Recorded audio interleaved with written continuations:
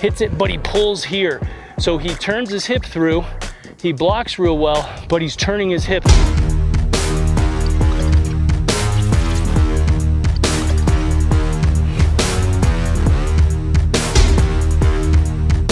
everybody, it's Eric Johnson from Arete Throws Nation, and in today's video, we are going to talk about one simple movement that is absolutely the biggest nightmare to coach and something you want to avoid. So what's the biggest nightmare that we tend to see? And you want to understand the path of the entry side shoulder, which becomes the block shoulder. Now, the biggest nightmare that a thrower can get into, in my opinion, perhaps is the top distance killing mistake and it's pulling the shoulder around. So in the throw, one of the things that you're trying to do is understand your basic angle so that you can stay long and you can get this arm moving. And this arm has to move a very specific way to pull you into the throw so that you pull out into the delivery.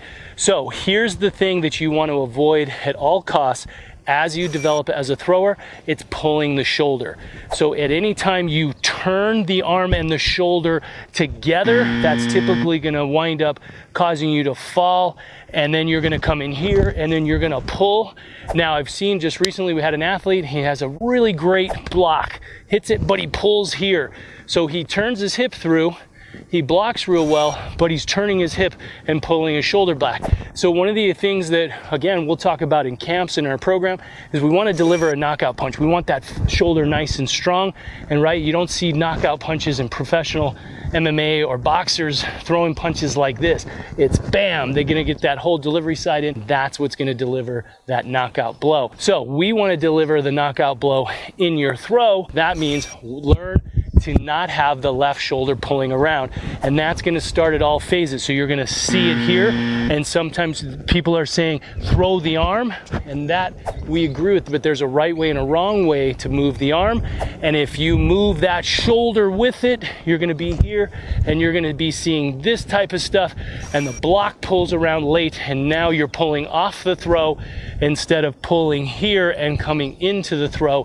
And that's the thing we want to avoid. So this is a super simple tip, but what you want to do is look at your video and if you see your shoulder cutting in, so when you're in the back of the circle, if you see the shoulder cutting in or you see yourself doing uh, a half the turn or 180 and your shoulder is cutting like this and you're pulling around and your block elbow, you can look in this camera and you see that block elbow over here, you're in trouble because when you look at the great throwers, you're going to see that block elbow here.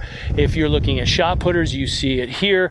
You do not see this type of emotion from the best throwers in the world throwing the biggest distances.